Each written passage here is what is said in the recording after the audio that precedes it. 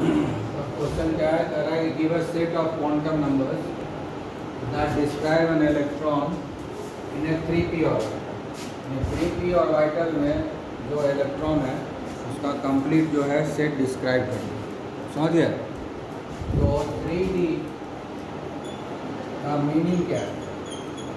Three D means उसमें कितना electron होता है? उसमें थ्री डी है तो टोटल टेन इलेक्ट्रॉन मैक्सिमम हो सकता है उससे ज़्यादा तो नहीं होगा तो थ्री का मीनिंग है कि पहला तो हमको मिला कि एन इक्वल टू थ्री है ठीक है? एन इक्वल टू थ्री है उसके बाद एल कितना होगा? S P D F S P D F zero one two S P D F हो रहा है। एस पी डी तीसरा? ज़ीरो वन टू एल का वैल्यू क्या हो गया? टू समझ गया। तो एन हो गया एल हो गया, उसके बाद हम क्या करेंगे? एम अब ना एम एल आएगा, ये क्या हो जाएगा? प्लस टू से लेकर के माइनस टू तक जाएगा, या माइनस टू से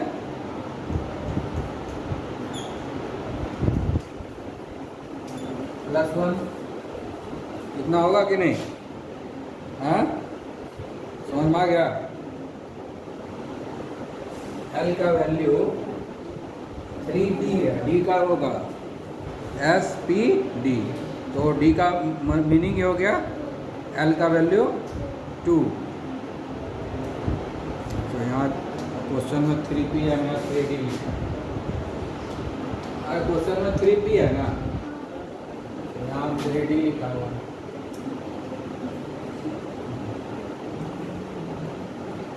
थ्री पी है तो एल का वैल्यू कितना होगा? वन होगा। तो ये कितना होगा? माइनस वन से शुरू होगा और प्लस वन पर खत्म हो जाएगा। ठीक है? उसके बाद हम लोग स्पिन क्वांटम नंबर होगा। स्पिन क्वांटम नंबर का वैल्यू कितना होता है? प्लस हाफ़ माइनस हाफ़ ठीक है? तो इसके लिए इसके लिए होगा प्लस हाफ़ और माइनस हाफ़ होगा। इसमें भी इसमें भी इसमें भी। क्योंकि इसमें दो इलेक्ट्रॉन होगा, इसमें दो इलेक्ट्रॉन जाएगा ना। फिर इसमें दो इलेक्ट्रॉन जाएगा, फिर इसमें दो इलेक्ट्रॉन जाएगा। तीन तो है ना ऑर्बिटल तो इसमें plus half minus half plus half minus half plus half minus half तो सेट ऑफ़ ये हो गया। ये सेट बनेगा। एक बनेगा three one minus one plus half फिर बनेगा three one minus half minus half ठीक है? अगर बन फिर बनेगा three one zero plus three one zero minus half ठीक है?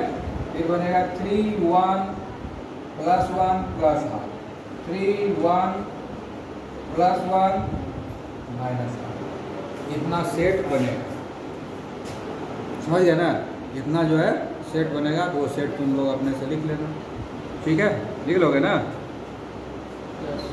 टेबलर फॉर्म बना देना है, लिख देना है एन एल एम एल ठीक है?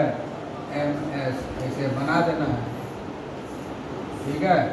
जितना सेट बनता है, लिखते जाओगे समझ गया कि नहीं? जैसे हम पहला एक लिख के दिखाते हैं। थ्री हुआ, ये वन हुआ, ठीक है? इसके साथ ये हो जाएगा। माइनस वन ये प्लस हाफ़ ले लीजिए फिर होगा थ्री वन ठीक है? माइनस वन माइनस हाफ़ हो गया कि नहीं? उसके बाद क्या आएगा? फिर आएगा थ्री वन उसके बाद ज़ीरो ठीक है? और ज़ीरो के बाद क्या होगा? प्लस हाफ़ उसके बाद आएगा three one zero minus half लिख लोगे इस तरह से सेट बना के? समझ गए नहीं लिखाएगा। अब इसका ज़ीरो के साथ हो गया, अब प्लस वन के साथ लिखना है ना? तो लिखा तो जाएगा ही, हम लिख देते लिखा गया। हाँ? आ गया ना? ठीक है?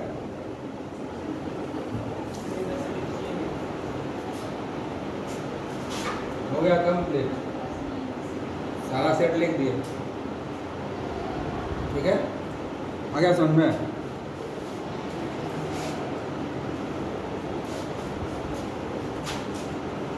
क्वेश्चन क्या है कि अगर कोई सेल है जिसका प्रिंसिपल क्वांटम नंबर थ्री है, इसमें कितना इलेक्ट्रॉन मैक्सिमम दे सकते हैं? अगर सब सेल है एल इक्वल टू थ्री तो कितना maximum number of electron accommodate हो सकता है? अगर ऑर्बिटल है, जिसका magnetic quantum number plus three है, इसमें कितना मैक्सिमम इलेक्ट्रॉन एकोमोडेट हो सकता है? ठीक है ना? तो हमको बताना है मैक्सिमम इलेक्ट्रॉन जिसको कि हम अकोमोडेट कर सकते हैं। तो पहले क्या है? एन इक्वल टू थ्री हो गया। ठीक है?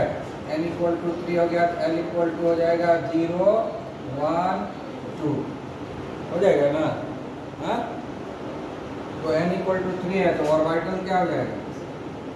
एक ये हो गया हमारा ऑर्बिटल सेल हो गया तो सेल हमारे पास कौन कौन है आएगा three S three P three D आएगा ना? उसके बाद ऑर्बिटल ऑर्बिटल कितना आएगा? थ्री एस का तो थ्री एस ही रहेगा, ठीक है ना? अब ऑर्बिटल सेल मिल गया। अब ऑर्बिटल निकालने के लिए हमको क्या लेना है? एल इक्वल टू ज़ीरो है। तो ऑर्बिटल हो गया।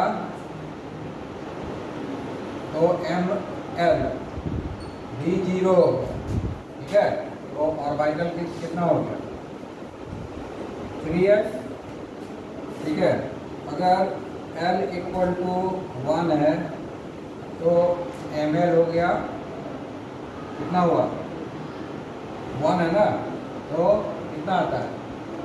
वन है तो प्लस वन माइनस वन तो प्लस वन तीन आएगा ना? एम एल हो जाएगा minus one zero plus one होगा ना? तो और ऑर्बिटल कितना हो जाएगा? Three P X three P Y three P Z समझ गया कि नहीं? आया बात समझ में? फिर एल इक्वल टू टू हो जाएगा। ठीक है? एल इक्वल टू टू होगा तो एम एल कितना हो जाएगा? Plus minus two minus one zero plus one plus two तो ऑर्बिटल कितना हो जाएगा? पाँच हो गया ना? यहाँ थ्री ऑर्बिटल्स हो गया। इसमें वन हुआ यहाँ पर। वन और ऑर्बिटल और इसमें क्या होगा three D X Y three D Y Z three D Z X three D Z two और हो जाएगा three D X two Y two five और वाई टू कितना हो गया? फाइव और वाइटल ठीक है? फाइव और वाइटल्स तो टोटल नंबर ऑफ़ और वाइटल कितना हो गया? यहाँ वन है, यहाँ थ्री है और यहाँ पर फाइव है। कितना हो गया? नाइन तो टोटल नंबर ऑफ़ इलेक्ट्रॉन कितना जाएगा? एक में दो जाता है ना? तो nine into two equal to eighteen total जो है eighteen electron maximum eighteen electron जो है, जाएगा। थर्ड ऑर्बिट में। समझ में आ गया? नंबर ऑफ़ इलेक्ट्रॉन टोटल कितना आएगा? एटीन ठीक है? आगे समझ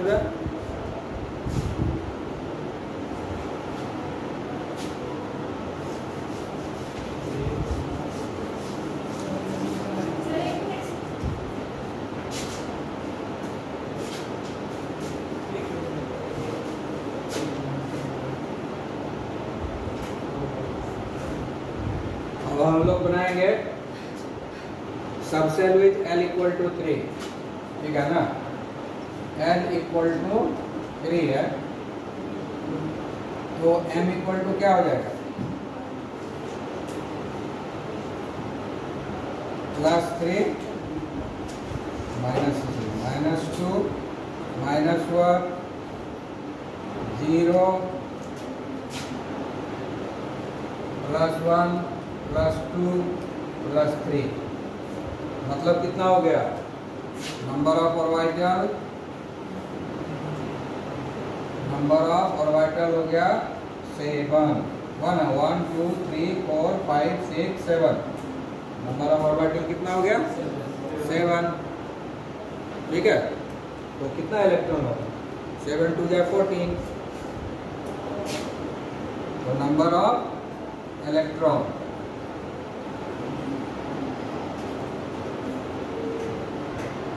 seven into two equal to fourteen है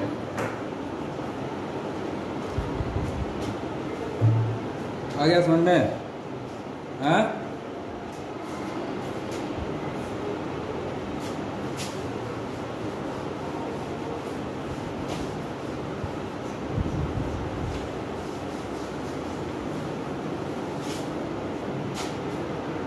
अब आ रहा है third in the orbital with M L है ना दिया हुआ है M L equal to plus three देखिए सिर्फ़ ना। देखिए ऑर्बिटल है ना। नंबर ऑफ़ ऑर्बिटल कितना है? वन तो number of orbital equal to one तो नंबर ऑफ़ इलेक्ट्रॉन कितना जाएगा? हो जाता है ना। One into two equal to two समझ में आ गया? हाँ ये आंसर हो गया। क्लियर हम्म?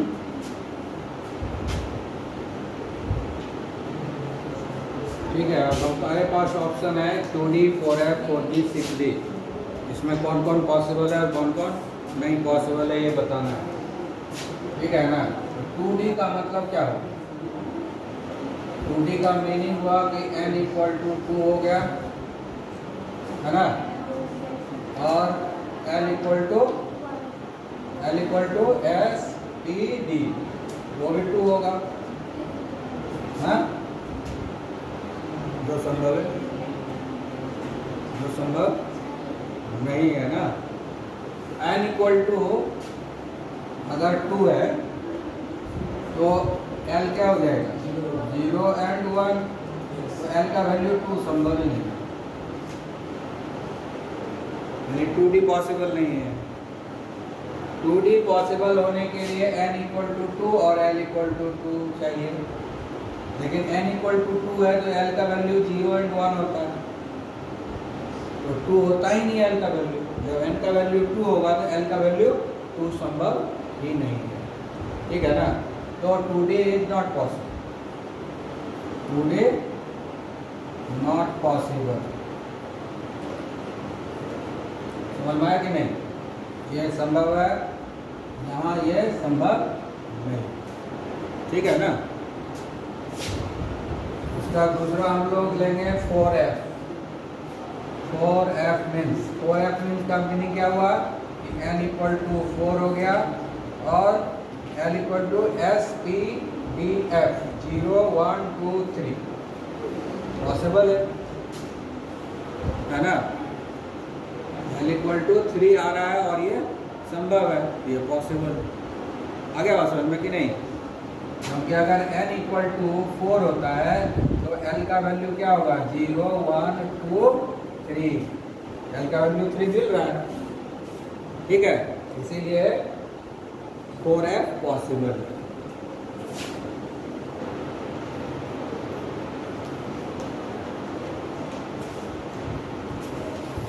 उसके बाद हम लोग आते हैं फोर जी। इसका मीनिंग क्या है?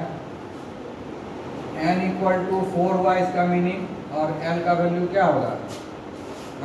एस पी डी एफ़ उसके बाद जी आता है। है ना? Zero one two three four है ना? एल का वैल्यू क्या आना चाहिए? फोर ये संभव ही नहीं एन और एल का वैल्यू सेम हो ही नहीं सकता। है। ना एल का मैक्सिमम वैल्यू एन के बराबर हो ही नहीं सकता, उससे हमेशा कम ही होगा। समझ गया ना? एन और एल एन का मैक्सिमम वैल्यू और एल का मैक्सिमम वैल्यू सेम नहीं हो सकता। उससे एक कम होगा। ठीक है? एन इक्वल टू फोर होता है तो एल का वैल्यू क्या होगा? ज़ीरो वन टू थ्री ये संभव है? ये संभव नहीं। तो हो गया फोर जी नॉट पॉसिबल ठीक है? अब आ रहा है हमारा सिक्स डी इसका मीनिंग क्या होगा? इसका मीनिंग हुआ कि एन का वैल्यू सिक्स हो गया और एल का value S P D zero one two यानी एल का वैल्यू टू होगा। ये संभव है? एन का वैल्यू सिक्स होगा। तो का वैल्यू ज़ीरो होगा वन होगा टू होगा थ्री होगा फोर होगा फाइव होगा। तो टू आ रहा है ना? तो पॉसिबल है। ठीक है? तो सिक्स डी इज़ पॉसिबल समझ में आ गया? हैं? ठीक है?